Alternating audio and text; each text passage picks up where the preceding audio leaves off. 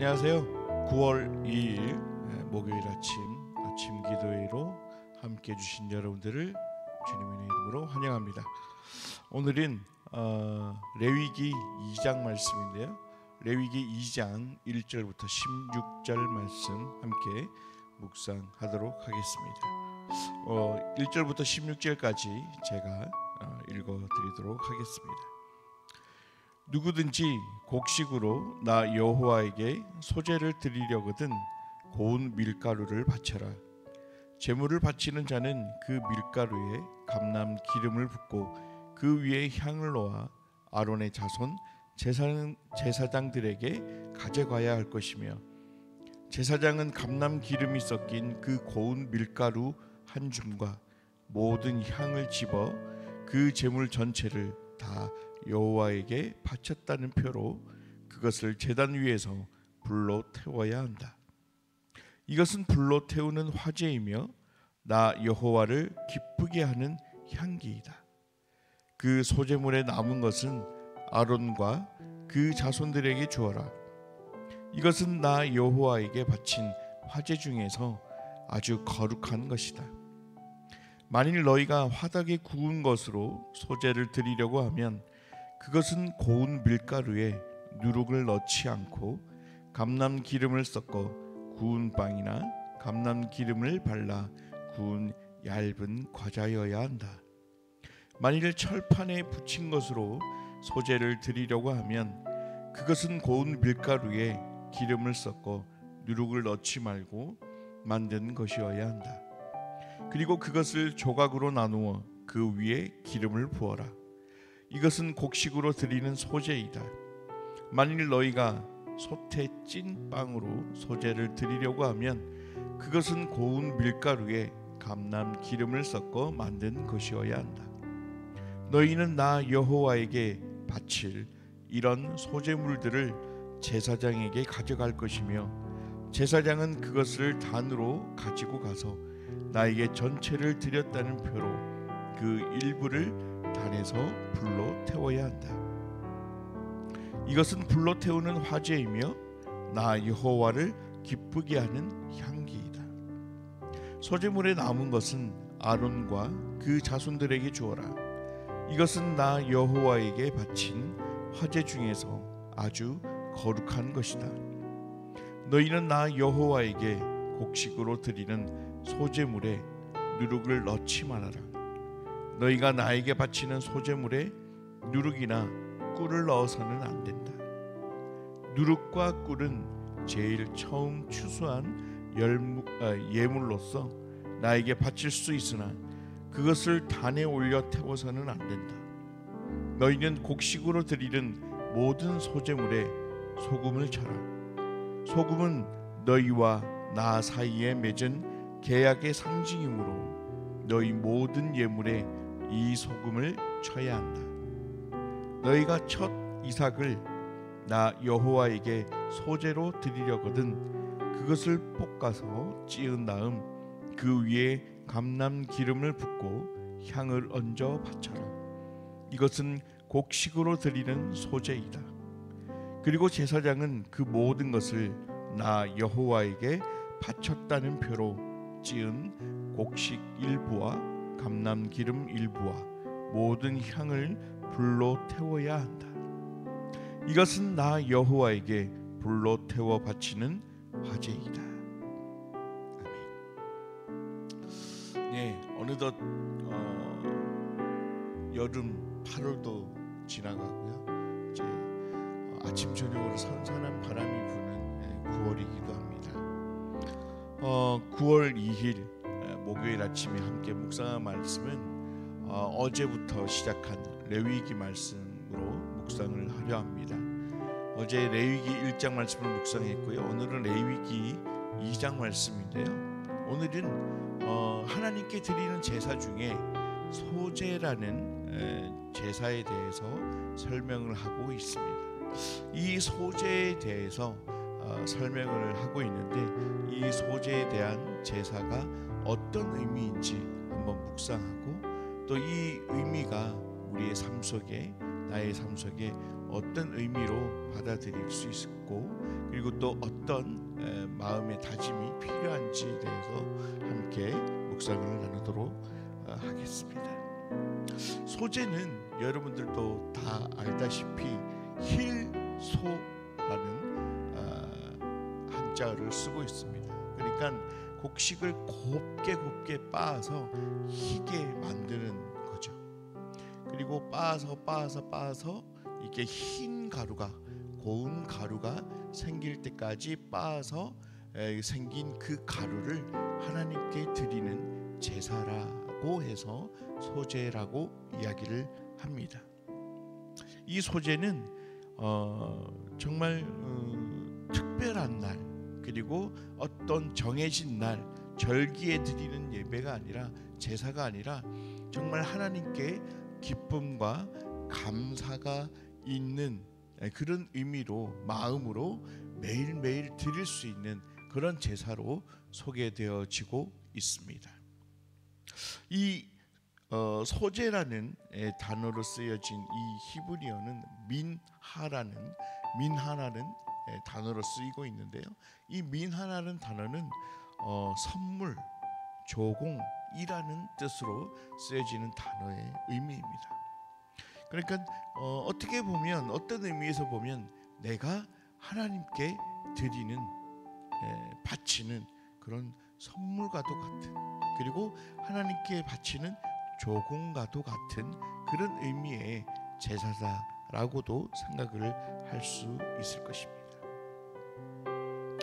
근데 이 소재를 드릴 때 하나님께서는 그냥 어, 우리가 방앗간에서 에, 떡을 만들기 위해서 어, 쌀을 에, 기계에 넣어가지고 그냥 몇 번씩 돌려서 정말 쌀가루로 만드는 그 가루를 하나님께 그냥 바치는 게 아니라 이 바칠 때에도 어, 1년에 에, 하나님께서 정하신 그런 규례가 있었던 것 같습니다.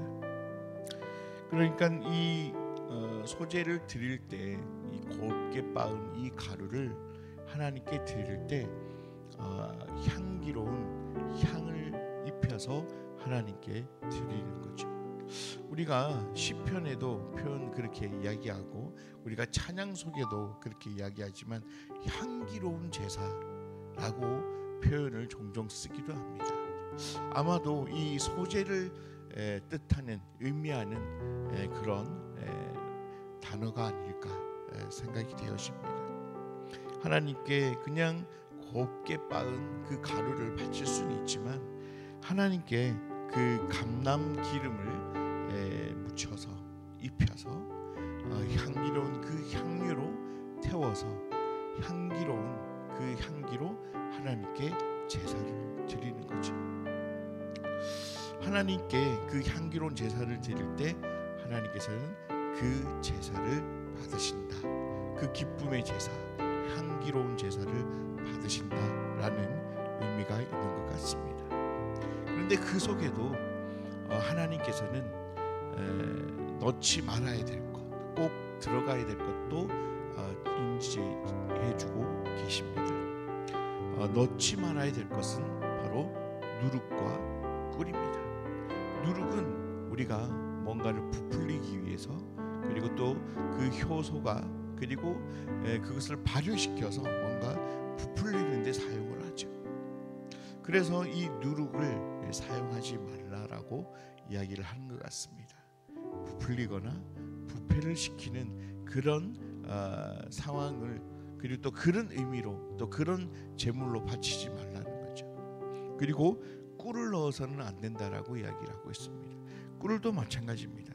꿀도 어, 일종의 부풀리는 에, 그런 부패를 시키는 데, 에, 일조를 하고 있고요. 그리고 이 어, 꿀을 태우는 것도 어, 좋은 향기가 나다가도 나중에는 에, 약간 좋지 않은 냄새가 난다고 합니다. 그래서 하나님께서는 어, 이렇게 어, 꿀과 누룩을 넣지 말라라고 이야기한 것 같습니다. 그리고 꼭 들어가야 될 것은 소금을 칠하는 거였죠. 소금은 우리가 다 알다시피 부패시키지 않는 그리고 상하지 않는 그리고 어, 일종의 에, 맛을 내기 위한 에, 그런 데 쓰이는 아주 귀한 에, 소금인 거죠. 그러면서 어, 13절 말씀에는 이렇게 소재물에 에, 소금을 치는 것은 너희와 나 사이에 맺은 계약의 상징이다라고 이야기를 하고 있습니다. 변하지 않는 부패하지 않는 그런 하나님과의 나와의 언약의 상징으로 이야기를 한다라고 어, 되어져 있습니다. 어, 우리는 흔히 짐승을 태워서 드리는 번제라는 제사가 가장 각인되어져 있는 제사 중에 하나일 것입니다. 어, 물론 번제라는 게 정말 큰 재물 그리고 많은 재물 그리고 또 그 재물을 통째로 다 태워서 하나님께 드려야 되기 때문에 시간이 조금 오래 걸리기도 합니다. 그래서 여유 있고 경제적으로도 여유 있고 그리고 또 시간적인 여유도 있고 또 여러 가지 상황 속에서 그 번제라는 제사가 매일매일 행할 수 없는 그런 제사이기도 했습니다. 그러나 이 소제는 다른 제사를 드릴 때 같이 더불어서 드리기도 하고 이 소재를 같이 독단적으로 소재를 드리기도 했습니다. 그런데 알다시피 이 재물은 곡식을 빻은 가루만 있으면 되니까 경제적으로 그렇게 여유가 없는 사람들도 충분히 하나님께 드릴 수 있는 제사가 될 수 있다는 거죠. 그리고 기쁨과 감사의 마음만 있으면 하나님께서 기뻐 받으신다는 의미도 담겨져 있을 것입니다. 어, 이 소재를 통해서 하나님과 나와의 맺은 그 언약이 결코 변질될 수 없고 바뀔 수도 없고 그리고 어떤 상황 가운데서도 하나님께서는 나와 함께 그리고 나와 맺은 그 언약을 끝까지 지키겠다는 하나님의 그런 언약 다짐도 포함이 되어 있지 않나 생각을 해보게 됩니다. 어, 소재는 제가 앞에서도 말씀드렸다시피 어떤 특정한 날 그리고 어떤 특정한 일이 생겼을 때 드려지는 제사가 아니라 어, 내가 기쁜 마음, 감사하는 마음으로 매일 매일 드릴 수도 있고 어, 그런 예배인 것입니다. 그런 어, 하나님께 나아가는 방법인 것입니다. 그렇다면 우리의 매일매일의 삶의 순간순간도 이 소재와 같이 하나님께 드려지는 삶이 되어야 된다라는 의미로 저는 묵상을 해봤습니다. 그러면서 하나님께서 이 소재를 드릴 때 부풀리고 부패하기 쉬운 그 누룩과 꿀을 넣지 말라는 것. 내가 하나님 앞에서 다짐했던 그 다짐들이 쉽게 무너져 버리고 그리고 내가 아, 잘못한 것 그리고 나의 부끄러운 것을 감추고 그리고 어, 내가 하나님 앞에 그리고 또 누군가에게 그리스도인으로서 숨겨 숨기고 싶은 것들을 숨기면서 골물대로 골문 나의 그런 부족한 모습을 감추며 어, 하나님께 그리고 많은 이들에게 그런 감추어진 모습으로 나아가는 그런 삶이 아니라 하나님께 그리고 누구 모두에게 다 진실된 모습으로 아, 나아가는 모습이 필요하다라는 메시지로 저희들에게 말씀해 주신 것이 아닌가라는 그런 의미로 묵상을 해보게 되었습니다. 오늘도 아마 하나님께 감사하고 기쁨으로 우리가 하루하루를 이 시간을 보낼 수 있는 날이 될 거라 확신합니다. 하지만 그 시간 속에서 내가 잊지 말아야 될 것은 진실된 나의 모습을 하나님 앞에 드려야 되고요. 그리고 무엇보다도 기쁜 마음으로 감사하는 마음으로 하나님께 나의 삶을 나의 시간을 드려야 되지 않을까라는 생각을 해보게 됩니다.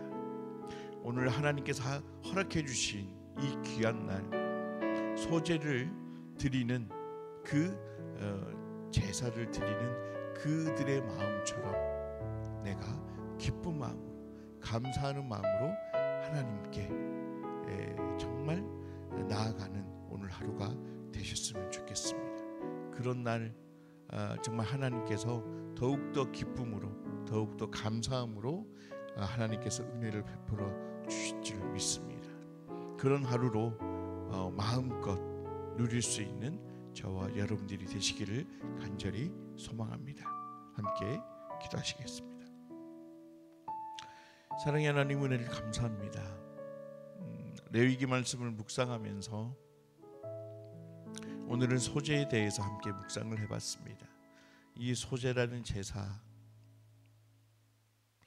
이 의미 속에 하나님께서 과연 나에게 우리에게 어떤 말씀을 해주시는지 한 번 더 묵상을 해보 아, 할수 있게 에, 시간을 허락해 주시고 또 하나님께서 이 속에 담겨져 있는 하나님의 의미를 하나님의 의도를 하나님의 뜻을 생각할 수 있는 어, 귀한 하루가 되었으면 좋겠습니다. 어, 숨기지 않고 그리고 부패한 나의 삶이라고 할지라도 정말 진실되게 하나님께 나아가 있는 그들의 모습으로 하나님께 고백하고 또 하나님의 인도하심을 또 하나님의 그 능력으로 붙들어 주심을 간구하는 저희들이 되었으면 좋겠습니다. 그런 고백으로 오늘 하루도 하나님과 동행하며 한 걸음 한 걸음 전진해 나가는 저희들이 되었으면 좋겠습니다. 하나님께서 함께 해 주실 것을 기대하며 예수님의 이름으로 기도합니다.